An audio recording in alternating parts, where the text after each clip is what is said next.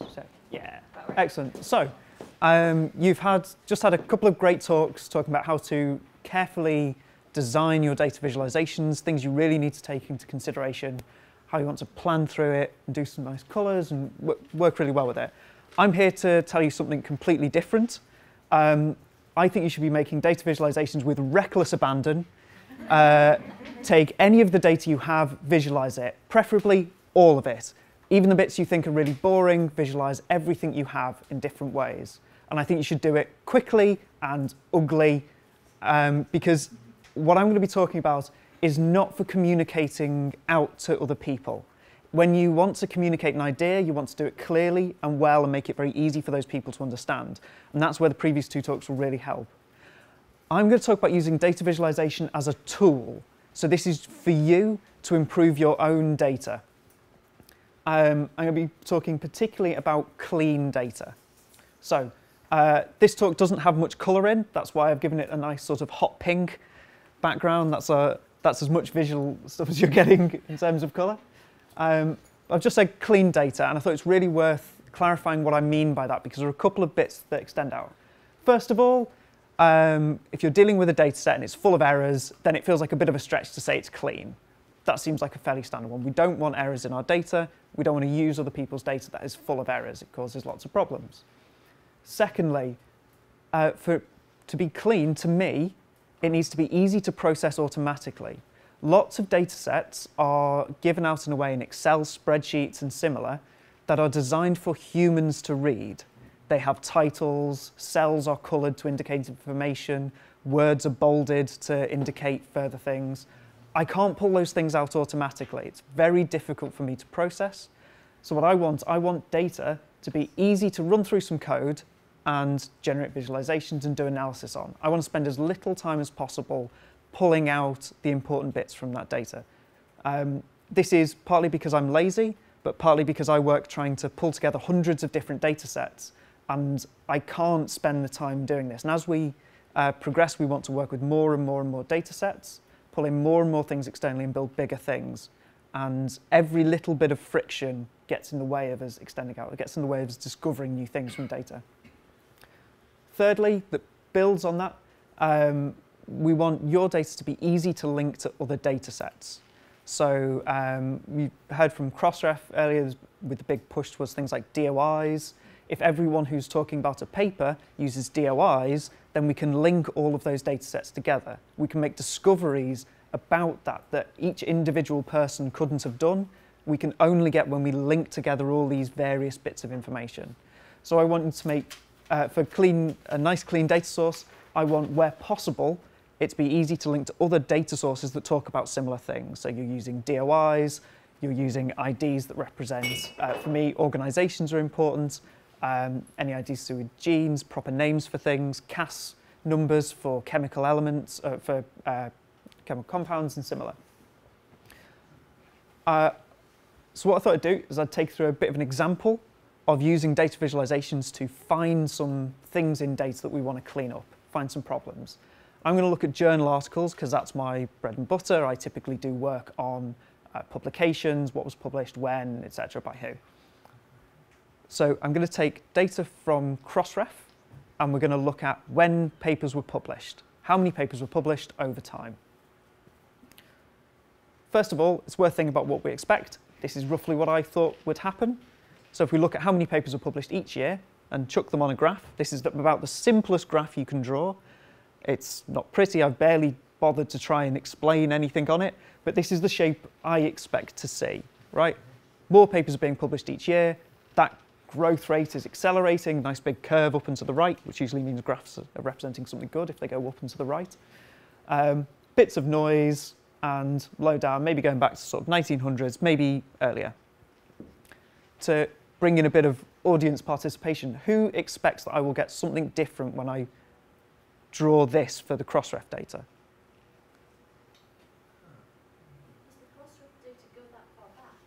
Ah, good question. Um, so you think potentially because you're looking at DOIs, it might go back to uh, more 1980s, potentially somewhere around there. Okay. Anyone else think there's going to be something different? So what is he actually going to be plotting? Uh, so we're going to take all of the articles that are in Crossref which means all the articles that have a DOI, and we're going to say how many were published each year.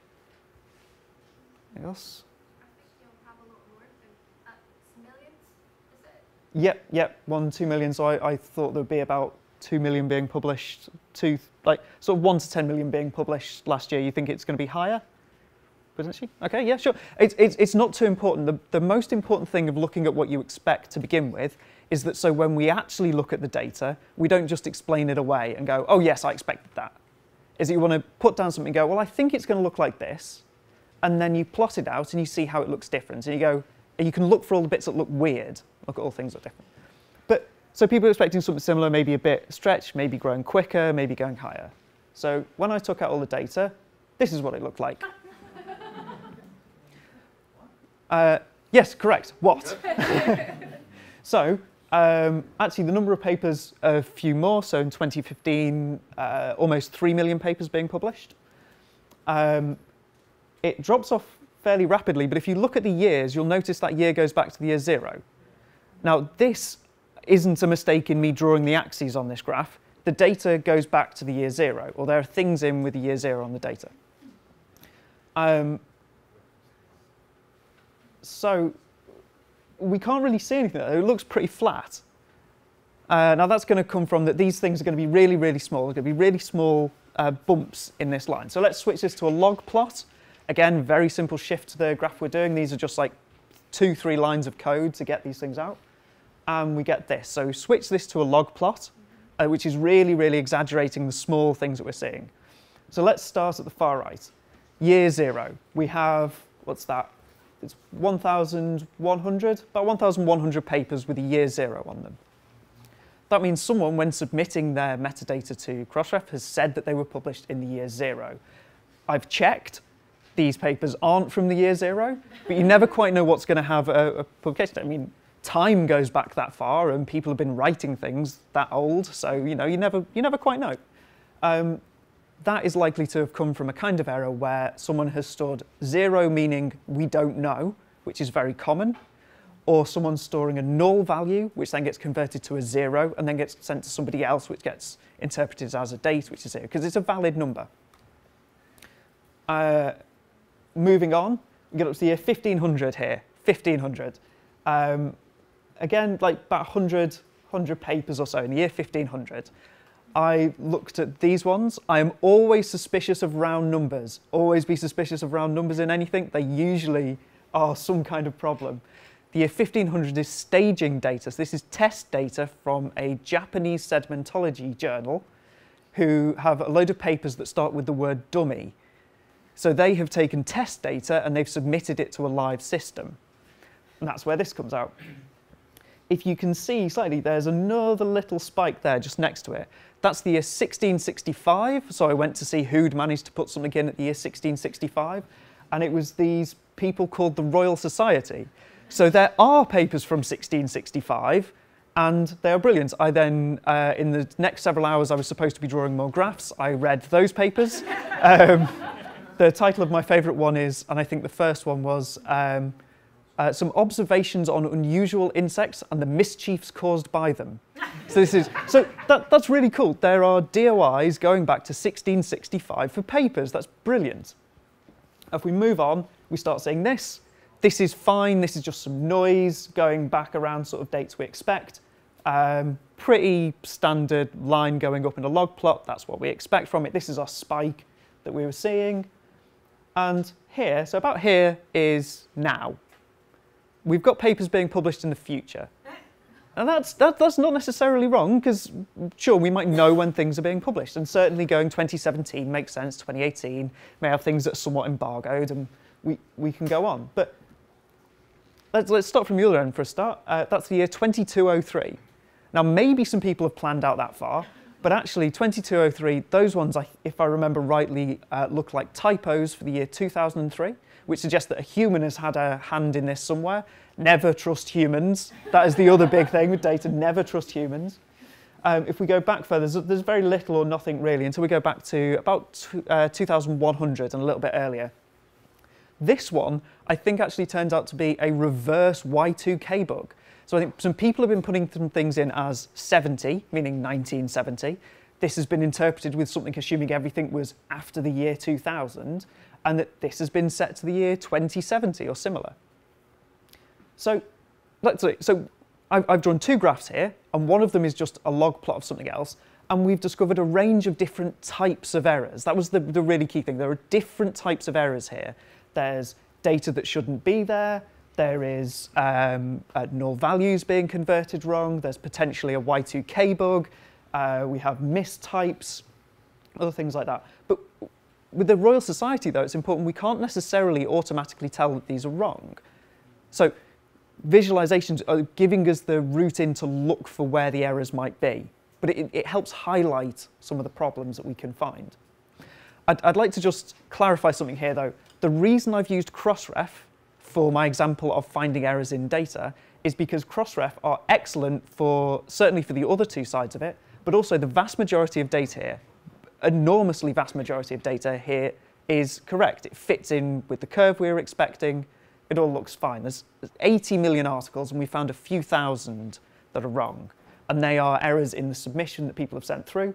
And there are also things we can't automatically detect and filter out. So this is an incredibly clean data set for things. They also make an API available. It's really easy to get the data which is why I was able to grab it and actually draw this for you today. I wasn't going to spend days pulling out data in things. I mean, obviously I'd put in the time and effort for the talk, but maybe not that much. Um, I thought, to, just to finish off, to actually see, see what's in it, let's cut the scale down and let's look at things roughly in the year 1900 on. So this is the region we were more confident about. It's a lot more data. Um, straight line, about as we were expecting. You notice there are a couple of dips. And they're, they're, those dips last longer than I would expect for noise. So I wanted to see what might have uh, gone wrong there. And then I looked at the years. Those two correspond to the First and the Second World War. So you can see the impact of the war on, on the scientific output publishing. Um, that's not to suggest that that was the, the worst thing that happened, but, uh, it, but it's interesting to see those patterns appearing in the data. And it's a, another reason why we can't just look for, oh, when it goes down, it's wrong because those are, those are correct. Those things are. And let's pull it back away from uh, log plot and we get roughly what we were expecting. With two minor ones that I would like to look into more, there is a bump at the year 2000. Remember, round numbers, always suspicious. Um, uh, that is either potentially a slight issue, again with zeros being interpreted. It might just be noise, or also uh, you can get issues. So Crossref is a combination essentially of lots of other inputs of data. If someone has only gone back to the year 2000 to submit their data, you would see a sudden bump there in the sense that you are losing some of the data from previously. There's also a little, little kink around 2010. Um, again, I haven't been able to find a good reason for that. It may just be noise. It may be related to the financial crash. Maybe there was some drop in funding. Or again, uh, maybe that's someone submitting some of the data wrong. We don't know. But that, that, that's what we got. So we're able to find a bunch of problems. If we go to a single publisher now, again, we're looking at dates things were published. This is a heat map. You may notice there's not much heat in this. Um, I pulled a single publisher out and looked at the days of the year that they uh, had articles for. Blue represents articles, um, grey and white represent basically no articles. You, you will notice there is a lot of grey here. Uh, almost all of their articles are marked as being on the 1st of January. And I checked, because this could be right. Some, some places mostly only publish once a year, and the 1st of January kind of makes sense. Uh, but they don't. A lot of these articles are from December. They publish all the way through the year. If the people who submitted this data in had drawn a visualization like this, which is four lines of code, I believe, then they would have been able to look at this and go, well, that's not what I expected. We publish all through the year. Um, so yeah, that's, a, that's an incorrect thing. This is another category of error. This is a granularity problem. So someone has, I think, taken the year, stored it as the year, uh, like thrown it into a system and said, this is the year, but hasn't said, this is the year, and I only know the year, I don't know the month and the day. This has been turned into probably the first second of that year, which has then been passed on to other systems as the days. Again, this is totally valid data, it's just wrong.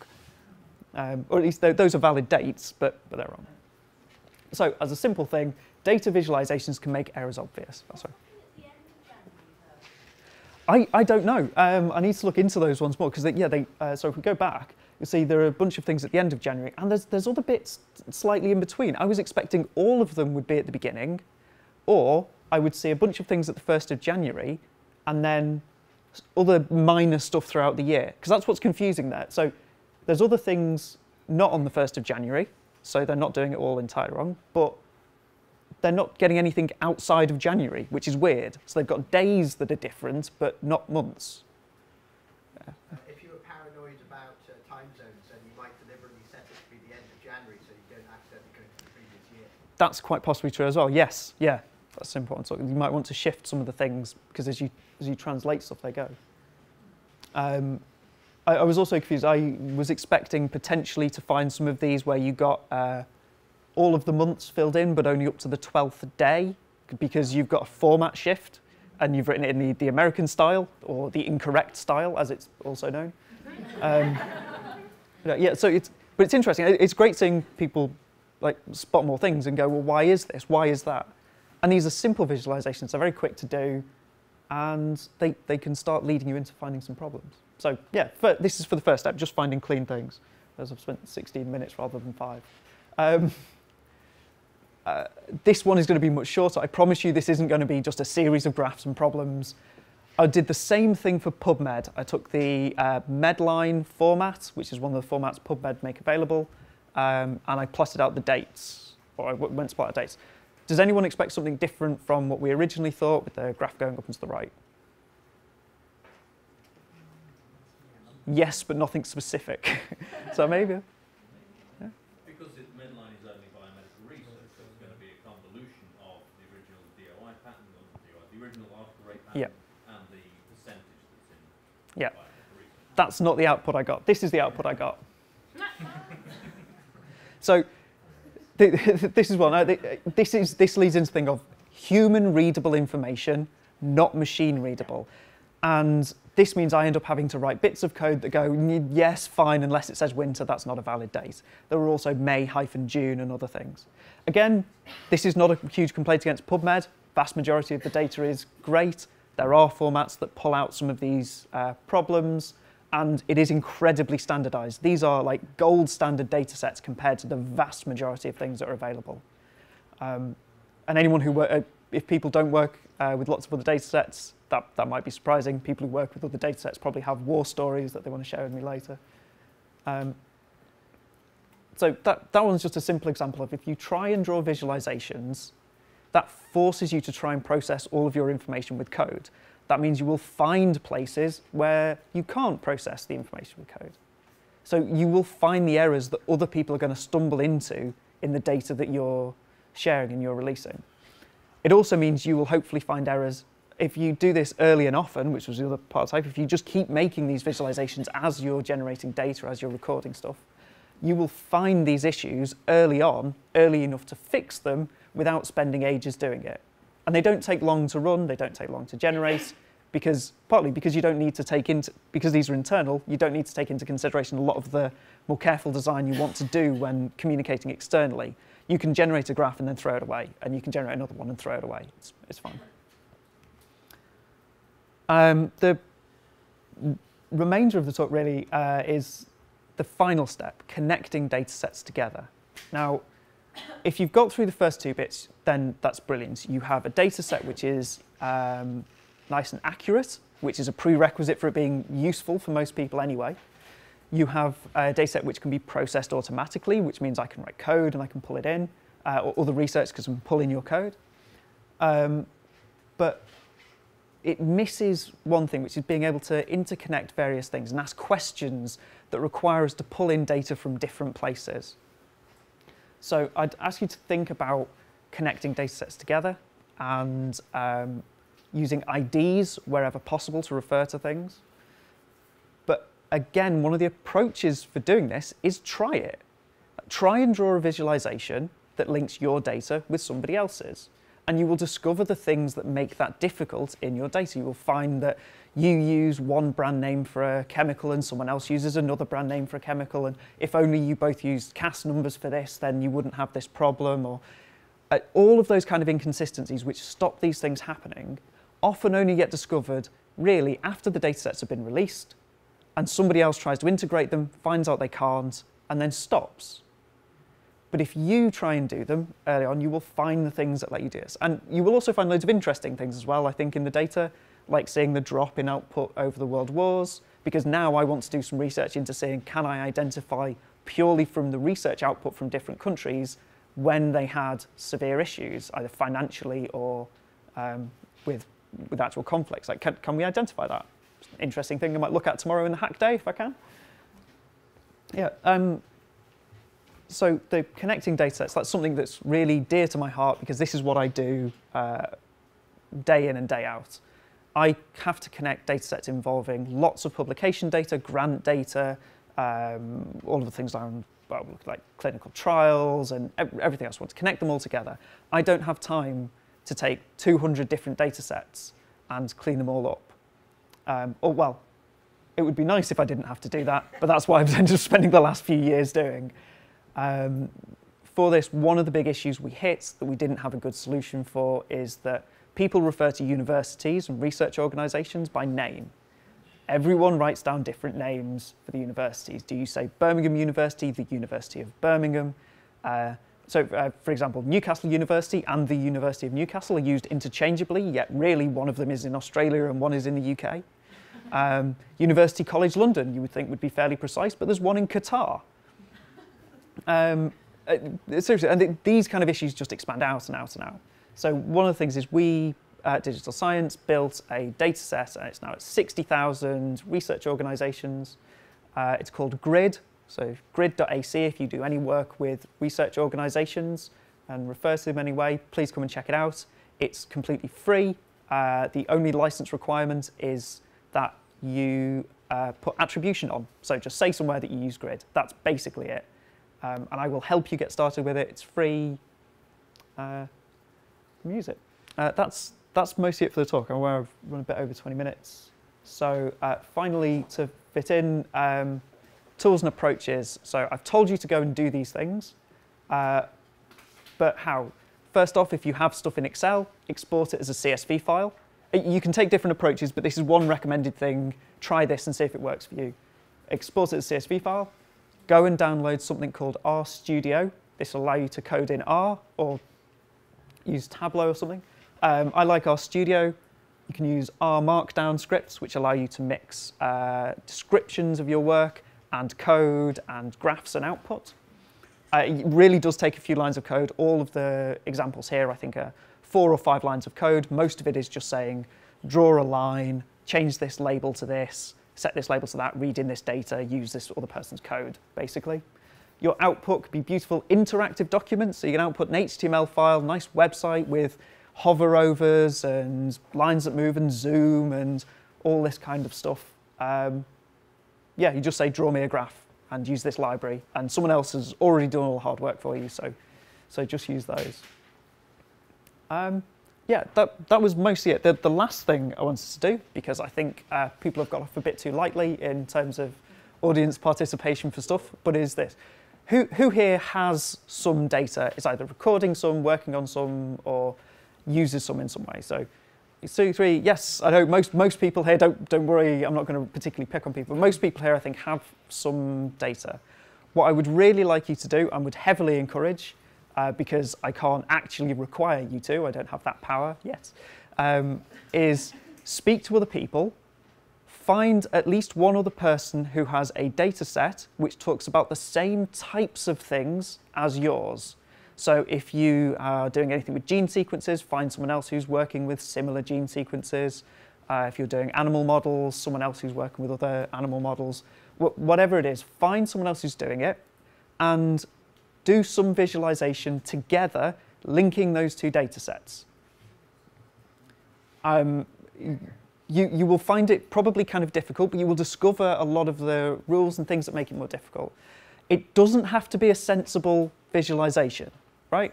It, it, it doesn't have to be something where you really expect to find something new or do something new. It's, it will usually either be kind of funny because you'll find a correlation between two things that are wildly uh, different, as the um, classic number of pirates compared to global warming data set shows. Um, or it will actually turn into something, but you will discover a huge amount of stuff on the way and you will meet some other people who are working in similar things. Um, that's, that's it for me, really. Um, yeah, uh, if anyone has any questions. Oh, uh, one final thing. Try this, try linking things together. If you have any problems or you just want to touch me, find me on Twitter or email me. I will try and help you out doing things. I'm around at the Hack Day tomorrow. Um, I will hand out things for Grid, and we're also releasing for free a data set of four and a half billion pounds worth of grant funding from 2014 for UK institutions to try and play around with tomorrow as well. So I'll, I'll share that around um, tomorrow for, for people. Um, yeah, that's me.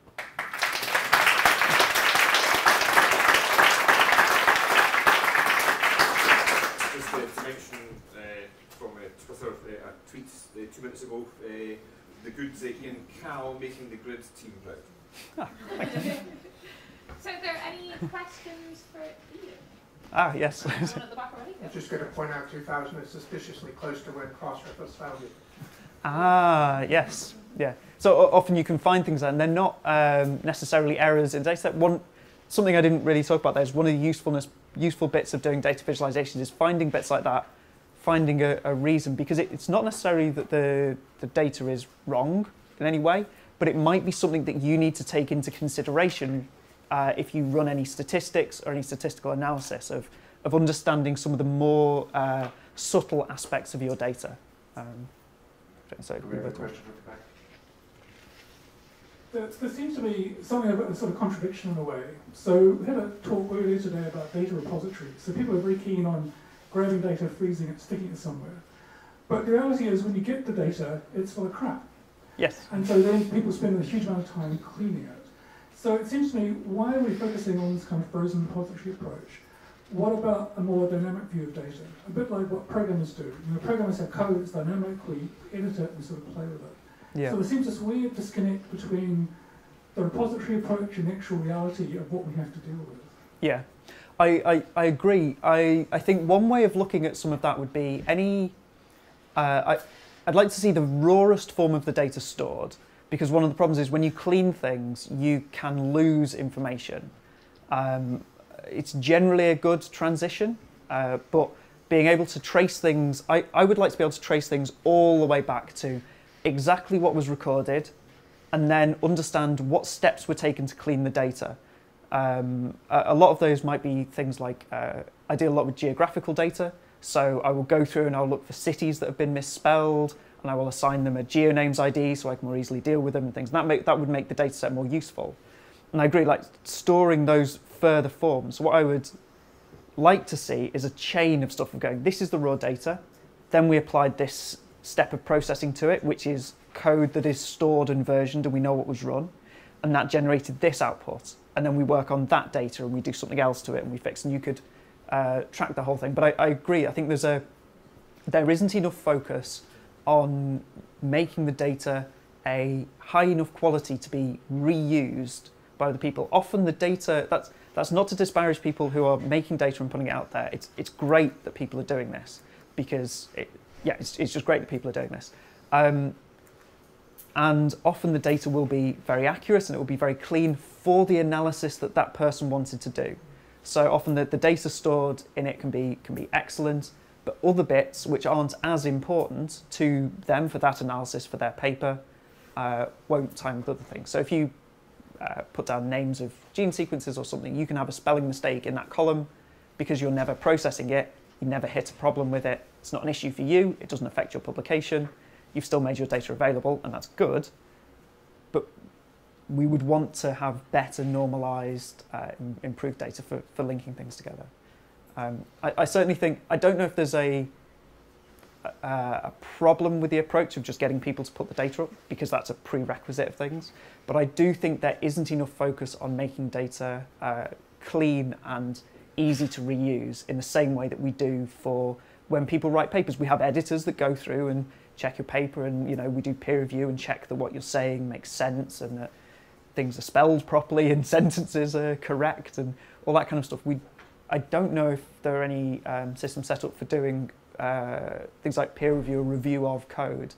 I, I, expect that there probably are, at least in an informal sense, in particularly, I know like astronomy and bioinformatics have both been mentioned. Those are both, um, not to suggest other sides aren't, but I know that both of those are excellent for um, dealing and processing with data because they are communities that have hit issues with data years ago and have had years to improve their, their processes. And now those things are starting to bleed over to other, other sides.